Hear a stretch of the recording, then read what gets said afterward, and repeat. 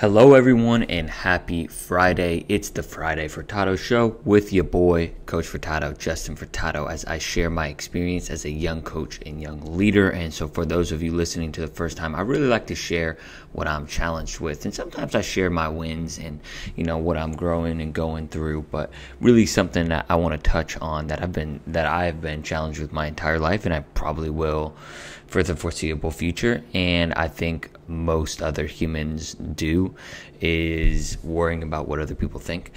And Nick Saban, uh, the great Alabama football coach, has an, an awesome quote that I've been thinking about recently, which is if you want to make everyone happy, sell ice cream. don't be a leader and don't be a coach because, you know, with with coaching you got playtime you got like who takes the shot who you know whatever. That that's a whole nother rabbit hole. Essentially i want to keep this you know broad enough for you as a leader working uh, you know i'm really targeting people that are working with youth and making a difference for uh, people in the next generation. So with that this is applicable to anything though is i've, I've been challenged by that. That's just, i've been someone that's like been a, a, able to be a chameleon and kind of like adjust and, and with the groups that I'm around, right? But there's a difference between when you're like a, a, general member or, you know, an employee and a coach on kind of the ground level. And then once you move into leadership positions, you have to start making, you know, strategic decisions about where the company or the team is moving. And, and no, well, number one, humans don't like change, right? It's, it's against our nature. Like change sends the signals to our, to our brain that, you know some there's a threat right? It may not be a threat right? But as as humans we have adapted towards that you know from when we were little like apes running around like you know i saw you know the the snow is coming and things are changing whatever it may be you know i ain't no scientist so don't quote me on that. But essentially with that being said we have to be very mindful um, of of how we present change but we also have to be very mindful of people are going to have what they have to say and I can I can think back to last month, like in the April training, the first training I gave before I even officially got promoted. Like it was kind of more so like a trial run. I had my training wheels on, but essentially, you know, I was I was worried. I was so worried about what other people were thinking. Especially a lot of them were my peers, you know, and, and they still are my peers because I'm still coaching but now that I'm like admin and coach, like I'm, you know, obviously I have a little bit more leadership responsibilities in the direction of the company. I'm influencing quite a bit more. So I was like, oh no, what are they gonna think? They're like, you know, he's just a coach. You know, why is he up here, right?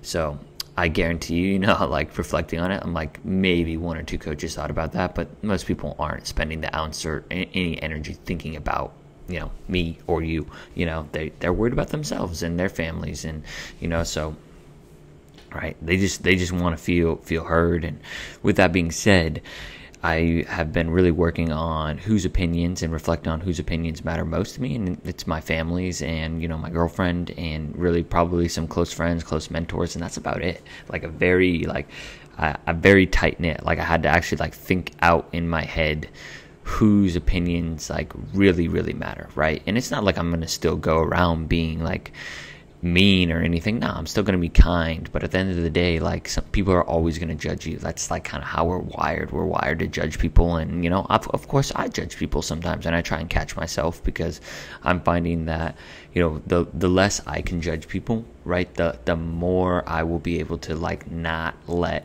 others judgment affect me if that makes sense. So i think really just just knowing and, and, standing in that like especially with honestly with being a referee it's been like very challenging. I do that like with the kid with the kids. I always oftentimes I like to let the other coaches coach the teams and you know as as the head coach of the gym i like to take kind of control of the games and you know make sure the the flow and i know you know what kids need to need to work on on what and really it's it's you know it's funny. You get yelled at by parents by kids. Oh that's a travel blah blah blah it's a foul. Call it call it coach.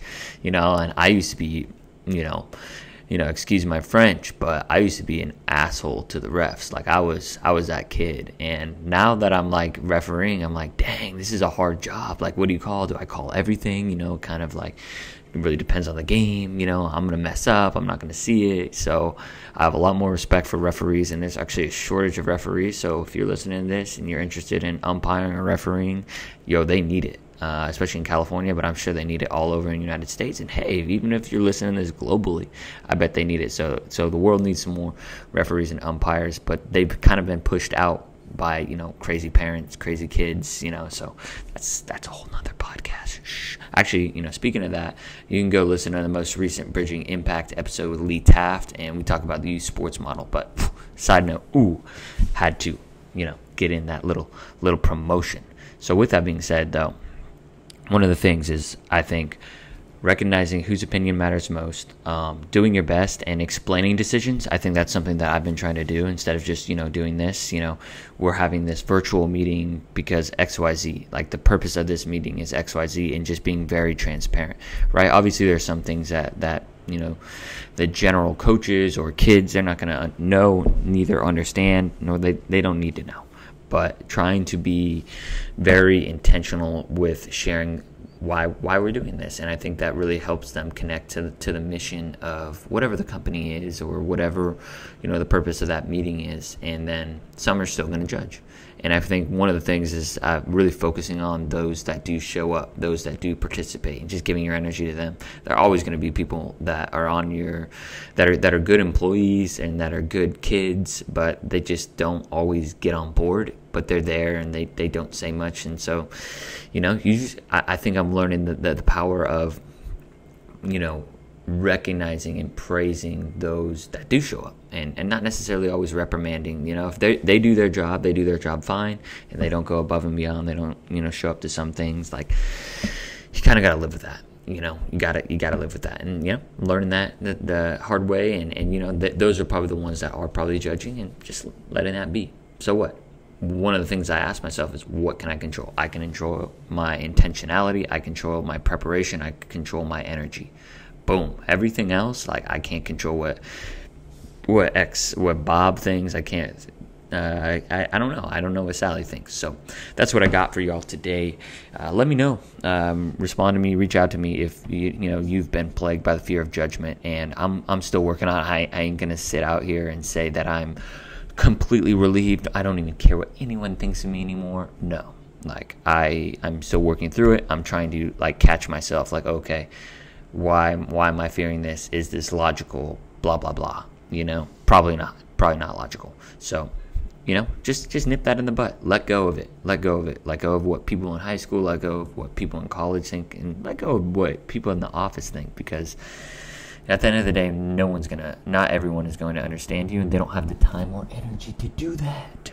And most of the time, they're not even thinking about you or judging you, and that's your own head worrying about it. So, those are my thoughts for the day. Appreciate y'all for listening. Please like, comment, subscribe, whether on YouTube, uh, Spotify, or Apple Podcasts. It's how the, uh, this show grows, and this show is for young leaders, young coaches, and, and it's a space for us. So, maybe I'll do a mailbag section and, and, and answer questions as we go.